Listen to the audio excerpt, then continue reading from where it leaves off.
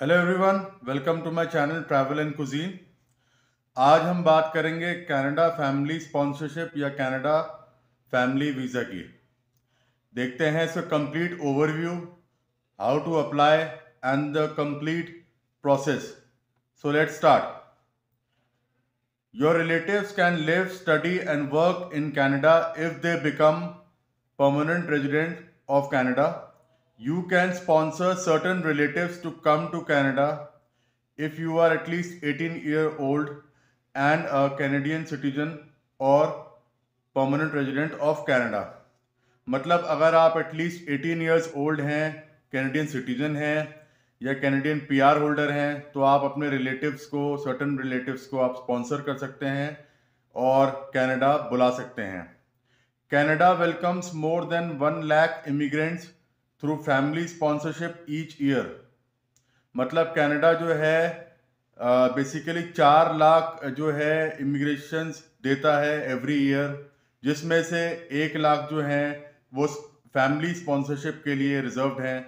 तो मतलब every year one lakhs family sponsorship visas will be given let's move further there are two main aspects to sponsorship it allows your family member to immigrate to Canada and get P R it requires the applicant to make a commitment to provide for basic needs and to support that person financially मतलब कि आप जिस person को sponsor कर रहे हैं, आपको एक एग्रीमेंट भी करना होगा कि आप उसकी basic needs basic requirements financially meet करेंगे। हु कैन आई स्पॉन्सर आप किसको स्पॉन्सर कर सकते हैं? Spouses and common law partners dependent childrens parents and grandparents मतलब ये जो है क्राइटेरिया है, आप जो है इतने रिलेटिव्स को जो उसमें दिया हुआ है, उनको आप स्पॉन्सर कर सकते हैं। As a sponsor you are required to sign a sponsorship agreement with your sponsored family member this is a commitment by you to provide financial support for the basic needs जैसे कि मैंने आपको पहले बताया of the person you are sponsoring the length of undertaking will be as follows अब जो है, जो आप एग्रीमेंट करेंगे, या आप जो है फाइनेंशियली सपोर्ट का जो आप एग्रीमेंट करेंगे, वो कितना होना चाहिए, वो देखते हैं। स्पाउस कॉमन लॉ पार्टनर और कॉन्जुगल पार्टनर आपको एग्रीमेंट तीन साल का करना पड़ेगा। Dependent child 10 years or until age 25 whichever comes first. Dependent child 22 years of age or older 3 years का एग्रीमेंट करना पड़ेगा.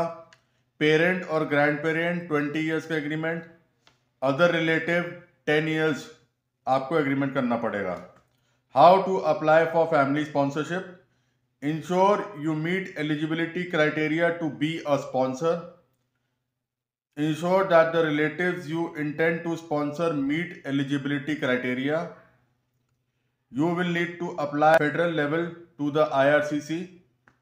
You will require to pay the sponsorship application fee.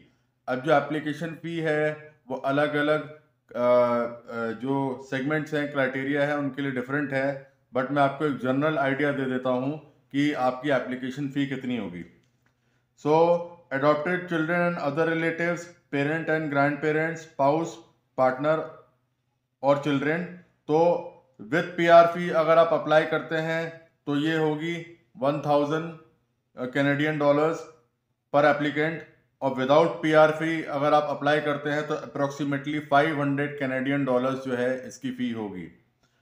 तो ये जो है कंप्लीट इन्फॉर्मेशन है।